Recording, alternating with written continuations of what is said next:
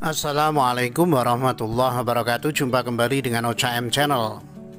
Komisaris BUMN mau ludahi Anis Fadlizon ungkit kasus Ahmad Dhani. Kronologi Komisaris BUMN hina Anis Baswedan.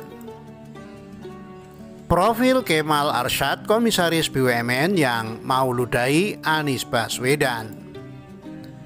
Newsdetik.com Komisaris BUMN Mauludai Anis Fadlizon ungkit kasus Ahmad. Jaga dunia maya digegerkan oleh cuitan Komisaris Independen PT Askrindo Kemal Arsyad yang ingin meludahi Gubernur DKI Jakarta Anies Baswedan. Waketum Partai Gerindra Fadlizon mengungkit ada ludah yang sempat dilontarkan Ahmad Dhani. Fadlizon menilai cuit sarkastis di akun Twitter Ahmad Dhani pada 2017 dipermasalahkan. Sementara cuit Ahmad Dhani itu tak ditujukan kepada nama atau tokoh tertentu. Dulu kata ludah membuat Ahmad Dhani bermasalah padahal tak ada alamatnya.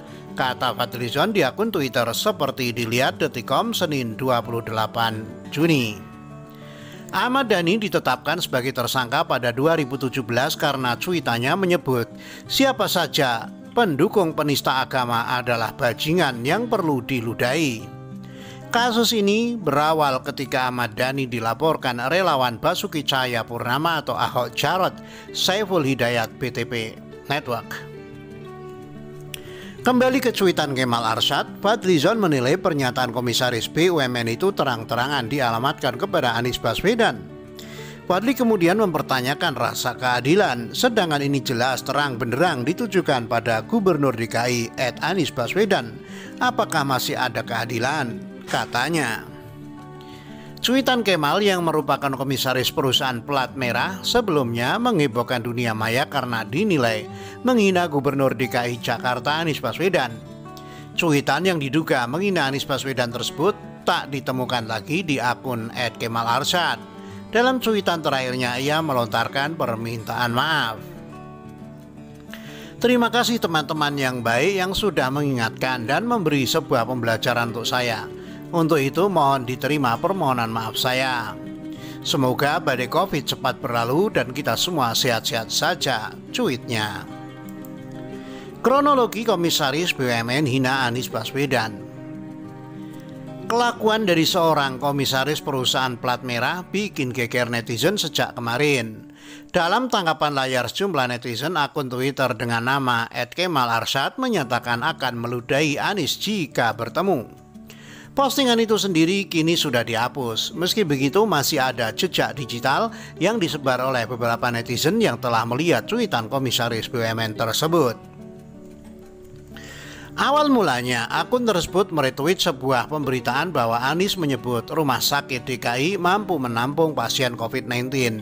Namun, akun Kemal Arsad membalas dengan kata-kata yang kurang mengenakan. Halah, Bang A, bener lah nih orang. Kalau ketemu gua ludahin mukanya. Cuit akun tersebut dalam tangkapan layar netizen yang dilihat Detikom Senin 28 Juni. Tak berselang lama, cuitan yang diduga menghina Anies Baswedan tersebut pun hilang di akun @kemal Arsyad. Disusul dengan sebuah postingan baru berupa permohonan maaf. Terima kasih teman-teman yang baik yang sudah mengingatkan dan memberi sebuah pembelajaran untuk saya. Untuk itu mohon diterima permohonan maaf saya. Semoga badai Covid cepat berlalu dan kita semua sehat-sehat saja tweetnya.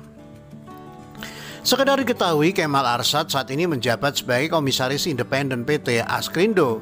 Ia ditetapkan sebagai komisaris berdasarkan surat keputusan Menteri BUMN nomor SK strip 18 garing MBU garing 01 garing 2021 tanggal 18 Januari 2021 Profil Kemal Arsyad, Komisaris BUMN yang mau ludahi Anies Baswedan. Nama Kemal Arsyad sedang menjadi buah bibir. Hal itu terjadi setelah dirinya menghina dan menyebut ingin meludahi Gubernur DKI Jakarta Anies Baswedan dalam cuitannya di Twitter dengan akun @kemal_arsyad. Usut punya usut ternyata Kemal Arsad adalah salah satu komisaris perusahaan plat merah, tepatnya PT Askrindo. Sejak awal tahun ini, dia ditunjuk menjadi komisaris independen di perusahaan tersebut. Cuitan hinaan itu sendiri sudah dihapus Kemal Arsad, hanya saja dalam takapan layar yang ramai di sebar netizen dia menyebut Anis dengan sebutan yang kasar dan ingin meludahi mukanya. Cuitan itu ditujukan Kemal Arsad untuk mengomentari sebuah berita yang intinya Anies menyebut Rumah Sakit DKI Jakarta mampu menampung pasien COVID-19. Alah, banga, bener lah nih orang kalau ketemu gua ludain mukanya. Cuit at Kemal Arsad dalam tangkapan layar netizen yang dilihat Detikom. Belakangan Kemal Arshad sendiri sudah minta maaf dan mengklarifikasi pernyataannya hanya saja perilakunya itu kadung jadi buah bibir netizen. Terima kasih teman-teman yang baik yang sudah mengingatkan dan memberi sebuah pembelajaran untuk saya. Untuk itu, mohon diterima permohonan maaf saya. Semoga badai COVID cepat berlalu dan kita semua sehat-sehat saja. Cuit Kemal Arshad. Nah, sebetulnya siapa sih Kemal Arshad? Berikut ini profilnya. Mengutip uh, situs web resmi Askrindo, Kemal ditetapkan sebagai komisaris Askrindo berdasarkan surat keputusan Menteri BUMN nomor SK uh, strip 18 garing MBU garing 01 garing 2021 sejak 18 Januari 2021 lalu. Diketahui Kemal juga sempat menjadi produser film. Beberapa film sudah digarap olehnya, misalnya Pasukan Kapten 2012, Langit Ketujuh 2012, Lima Elang 2011, Sang Penari 2011, Garuda di Dadaku 2011, Kebun Binatang 2011 dan Babi Buta yang ingin terbang 2008. Sementara itu dilihat dari akun LinkedIn uh, Kemal Arsad, dia mencantumkan beberapa pengalaman di berbagai perusahaan. Kemal juga menuliskan dirinya adalah lulusan Universitas Pelita Harapan dengan jurusan Marketing dan Finance mulai kuliah tahun 1994 dan lulus tahun 2001. Dalam akun LinkedIn itu disebutkan Kemal Arsad sempat berkarir di PT El Nusa pada 2001 hingga 2003 sebagai Business Development. Kemudian pada 2009 hingga 2014 ia menjabat sebagai CEO dari Better B, perusahaan pembuat aplikasi telepon seluler BlackBerry. Lalu ia bekerja sebagai produser selama satu tahun tujuh bulan di Reload Pictures pada 2012 hingga 2014. Kemal juga pernah bekerja sebagai Managing Director di PT Lynch Film selama 9 tahun pada 2005 hingga 2014. Setelah itu dia bekerja di Linkidi ID, PT Pulau Pulau Media, BIB, BIDP Bali, Diving, Scuba Seraya Resort, Creative Fund, dan Flash Hub Event. Demikian, wassalamualaikum warahmatullahi wabarakatuh.